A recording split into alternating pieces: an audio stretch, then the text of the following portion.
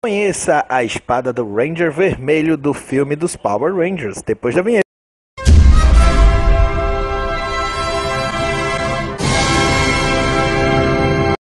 E aí, pessoas não pessoas, coisas não coisas, geeks e não geeks, nerds e não nerds. Você lembra que cada Power Ranger tem uma arma, né?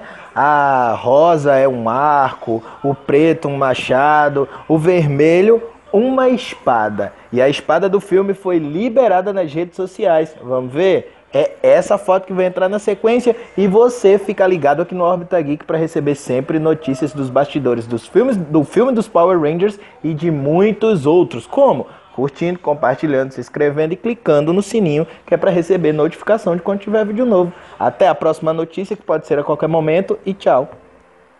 Olha a espada aí.